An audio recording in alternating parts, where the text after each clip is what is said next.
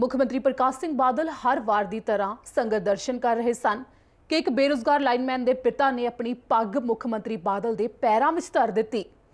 ਬੇਰੁਜ਼ਗਾਰ ਲਾਈਨਮੈਨ ਵੱਲੋਂ ਹੀ ਬਣਾਈ ਗਈ ਇੱਕ ਵੀਡੀਓ ਵਿੱਚ ਸਾਹਮਣੇ ਆਇਆ ਹੈ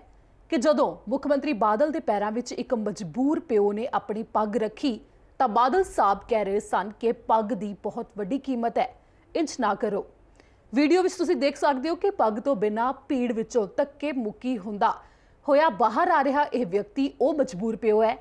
ਇਸ ਦੇ ਨਾਲ ਹੀ ਮੌਕੇ ਉਤੇ ਨਾਅਰੇਬਾਜ਼ੀ ਵੀ ਸ਼ੁਰੂ ਕਰ ਦਿੱਤੀ ਗਈ ਸੁਖਬੀਰ ਸਿੰਘ ਬਾਦਲ ਤੇ ਮੁੱਖ ਮੰਤਰੀ ਪ੍ਰਕਾਸ਼ ਸਿੰਘ ਬਾਦਲ ਖਿਲਾਫ ਜ਼ੋਰਦਾਰ ਪ੍ਰਦਰਸ਼ਨ ਕੀਤਾ ਗਿਆ ਤੁਸੀਂ ਵੀ ਸੁਣੋ ਕੇਂਦਰ ਸੰਗਤ ਦਰਸ਼ਨ ਦੌਰਾਨ ਨਾਅਰੇਬਾਜ਼ੀ ਕਰ ਰਹੇ ਨੇ ਪ੍ਰਦਰਸ਼ਨਕਾਰੀ ਮੁਰਦਾਬਾਦ ਮੁਰਦਾਬਾਦ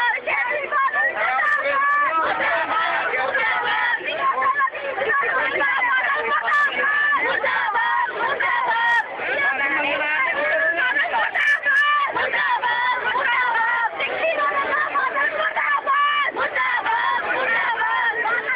ਜੀ, ਇਸੇ ਦੇ ਨਾਲ ਮੁੱਖ ਮੰਤਰੀ ਪ੍ਰਕਾਸ਼ ਸਿੰਘ ਬਾਦਲ ਉੱਥੋਂ ਚਲੇ ਗਏ। ਮੌਕੇ ਤੇ ਪ੍ਰਦਰਸ਼ਨਕਾਰੀਆਂ ਨੂੰ ਗ੍ਰਿਫਤਾਰ ਵੀ ਕਰ ਲਿਆ ਗਿਆ ਸੀ, ਪਰ ਬਾਅਦ ਵਿੱਚ ਉਹਨਾਂ ਨੂੰ ਛੱਡ ਦਿੱਤਾ ਗਿਆ।